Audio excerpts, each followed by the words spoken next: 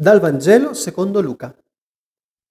In quel tempo Gesù disse, state attenti a voi stessi, che i vostri cuori non si appesantiscano in dissipazioni, ubriachezze e affanni della vita, e che quel giorno non vi piombi addosso all'improvviso.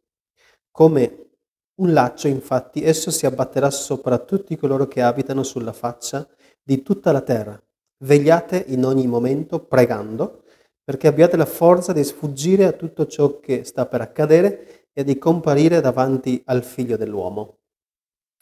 E siamo in un contesto, siamo verso la fine del Vangelo di Luca. Gesù consegna alla comunità dei suoi discepoli alcune raccomandazioni importanti e tra cui fa riferimento al cuore. È un contesto in cui Gesù parla della venuta del figlio dell'uomo e dice, usa alcune immagini anche un po' forti, e sembra quasi che metta un po' di preoccupazione, un po' di ansia, ma in realtà è una, è, è una dimensione di speranza, quella che Gesù consegna ai suoi discepoli.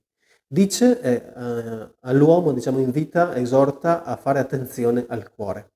A cosa è attaccato il cuore? Perché eh, tutte le vicende della nostra vita forse eh, proprio parte da questo punto fondamentale, il cuore, che nella Bibbia il cuore non è la sede dei sentimenti e delle emozioni, ma il cuore eh, è il luogo dove prendiamo le scelte importanti della nostra vita o per la nostra vita, è il luogo della scelta, delle scelte, delle decisioni, è il luogo dove l'uomo compie un discernimento importante eh, per la vita, per la sua vita. E quindi eh, Cristo invita i suoi discepoli a fare attenzione a questo cuore, al nostro cuore, a cosa è attaccato, cosa è importante profondamente nella nostra vita. Fare attenzione a questo.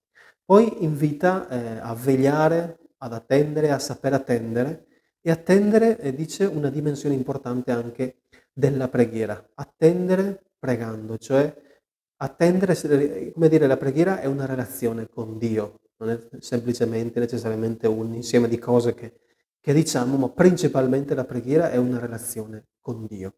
Sembra quasi che dica Cristo, stando attenti al vostro cuore, rimanete in tutto questo attaccati al Signore. Rimanete in questa relazione. Il verbo rimanere anche nella Bibbia, molto importante. Nel Vangelo di Giovanni il verbo rimanere è proprio il discepolo che rimane nell'amore del Signore. Eh, Gesù dice ai suoi discepoli, per esempio, rimanete nel mio amore, se rimanete in questo amore sarete rimanete nell'amore e sarete liberi veramente.